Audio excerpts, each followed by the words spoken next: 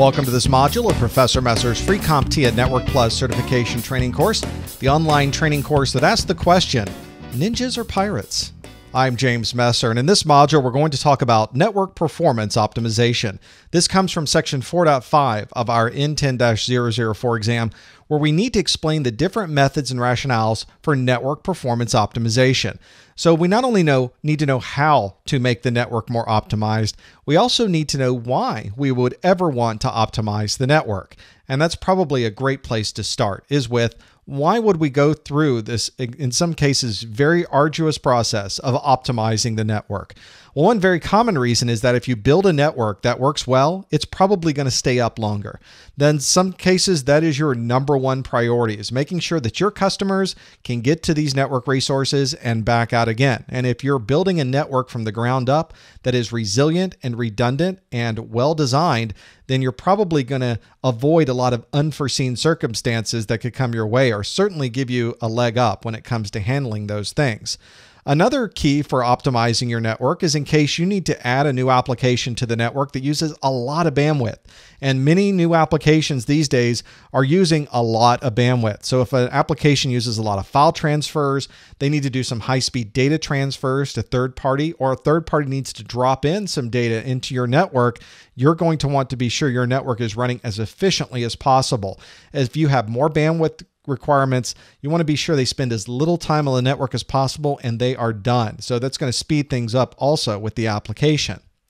Another good consideration when dealing or trying to understand why we would want to have better performance on our network is with applications that are very sensitive to delays in the network. If you have a slow, quote unquote, slow network, that means that the application functionality will probably be degraded quite a bit. If you're going over non terrestrial links or you're using an application that's very sensitive to any type of delay, you may have an issue here. So many real time applications are this way. For stockbrokers who are transferring stocks and buying and selling stocks, you need to make sure that your network is running as fast as possible so that you can sell the stock before anyone else does. And very often in that type of environment, it's a matter of nanoseconds between you and the next company. And you're going to make the commission if your network is faster. So performance considerations becomes extremely important there when we talk about latency and we talk about sensitivity, one good example of places where that comes into play are things like voice over IP. When we're listening to a phone conversation, those packets have to get to our ear on time. If it gets too badly delayed, there's going to be gaps in there. We may lose information or parts of what someone might be saying. We can't miss. If we're too late, it's too late to, to give us the sound. We can just drop it away and catch up with where it was going. That old data becomes completely useless to us. And in fact, if it's over about a quarter of a second, 250 milliseconds, if that delay gets much more than that, it becomes very difficult to have a conversation with somebody. The delay is just too long. We're losing too much information. There's too big of a gap in the sounds going back and forth. And one of the last applications you need to think about for high speed and very efficient performance of your network are video applications. They're not only latency sensitive, they're also extremely high bandwidth. So you've probably seen this. If you've got a slow connection to YouTube, suddenly these videos aren't working so well for you. You're constantly buffering and waiting for something to get buffered to your machine so you can at least have some decent user experience. If you are having a lot of delays and your bandwidth is very low, that video application is not going to work very well. So now we know why we would want to optimize the network. How can we go about optimizing the network? Well, let's start with one called high availability. If we're designing a network from the ground up, we would want to put components in place that were designed to be up all the time. We don't want anything to ever fail. And so, if something that we're putting in has a high level of availability, it's going to have things like uh, a high uh, 99.999% uptime. Now you'll you'll hear that a lot. You'll hear the industry. This particular technology has five nines of reliability. And that refers to the five nines that are in that 99.999% uptime. But when you start thinking about five nines is not a lot of downtime. That's up a lot of the time. If we take an entire year, 365 days, which is of course 24 hours in a day and 60 minutes in every hour, that's 525,600 minutes a year of 100% uptime. So if we look at 0.001% of that, that's about five minutes of downtime. That means that device is designed to essentially never go down. It's going to be up and running uh, five minutes or less of downtime in a year. That's that's amazing. That's remarkable. And in many cases, that's a little bit crazy. You're not going to get that in most devices. There are some like phone switches that never go down. You pick up the phone, you get a dial tone. They're just always there. Very much high availability. If you're running a Windows web server, probably not the same level of high availability. And now you can start to understand why the types of technologies you put in may be different depending on what your requirements are for that availability. Now, when you put in something that is high availability, it's probably going to be high expensive. It's probably going to be a lot of dollars thrown into that. And there's probably another contingency to add into the mix. For instance, if you're buying a server, you may want to make sure it has multiple power supplies in case one fails. So that's a high availability server. Maybe it's got higher quality hard drive components in it. So the more the higher quality you're going to have, the more it's going to cost you generally speaking. And you have to think about that nothing is going to be 100% up by itself there's always going to be something else involved. There's going to be power connections.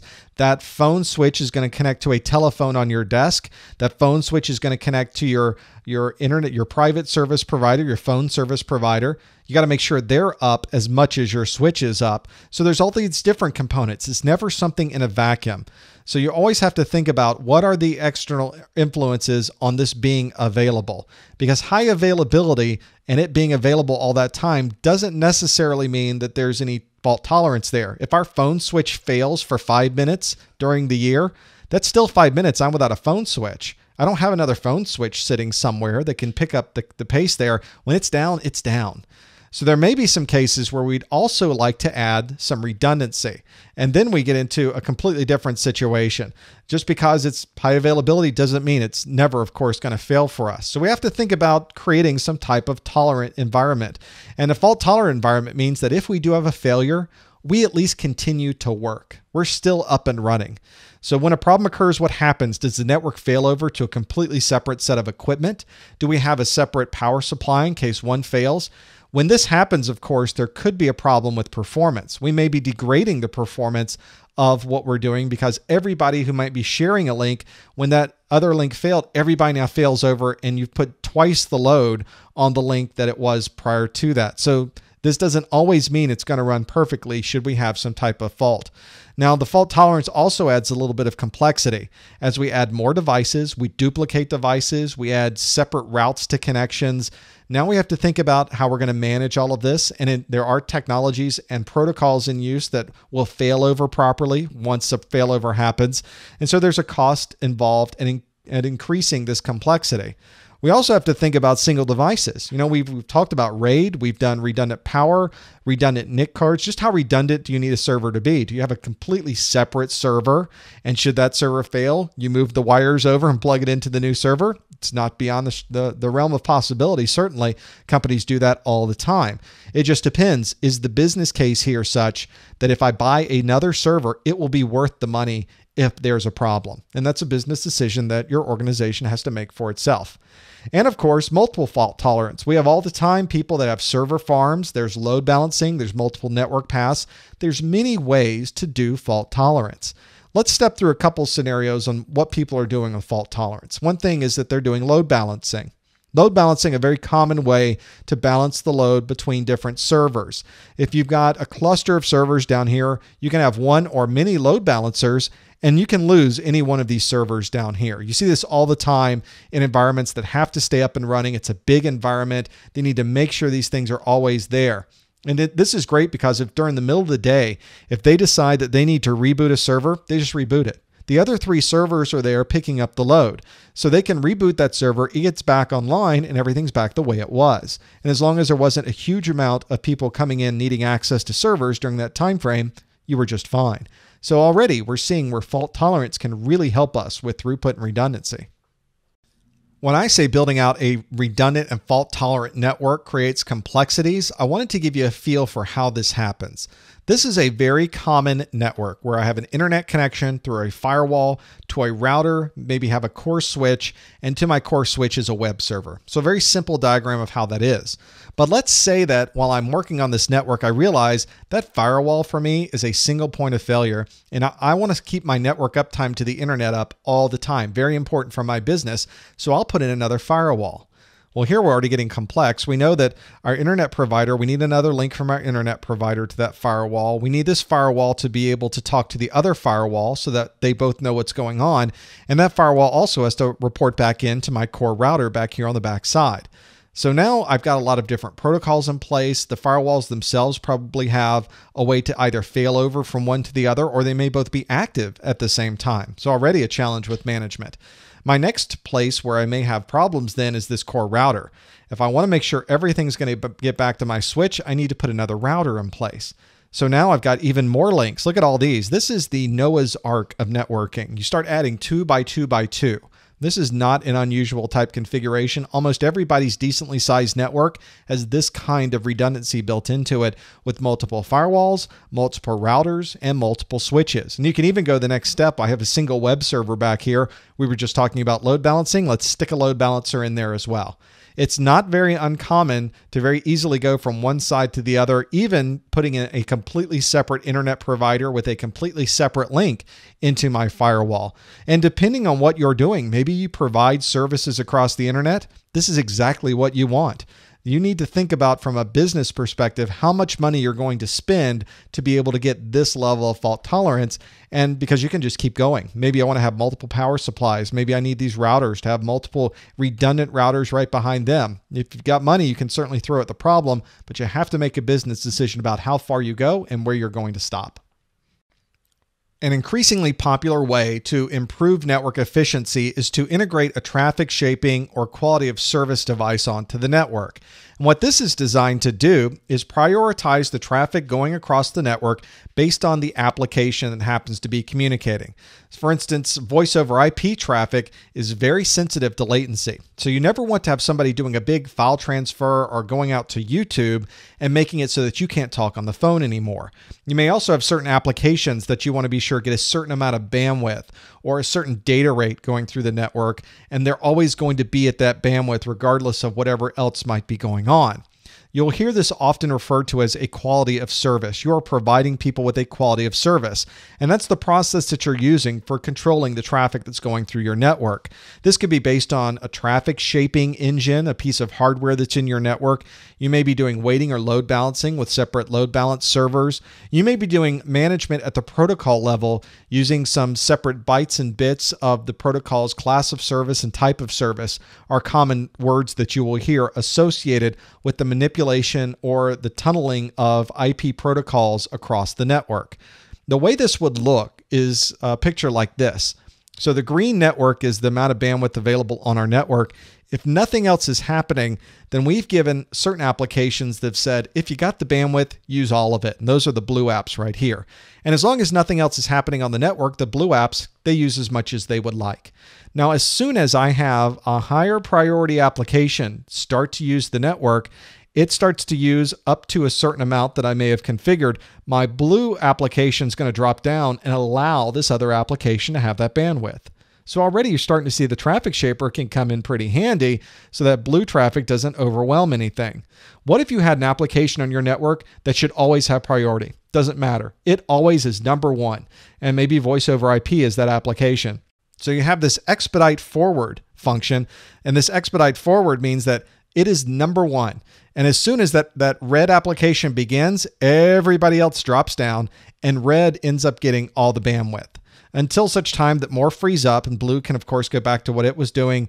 And then finally when the red app is done blue can go all the way back up again. The only way you'd be able to make this happen is if you had some type of traffic shaping technology in place. There's just no other way to manage this. Protocols use however much they want as much as they want.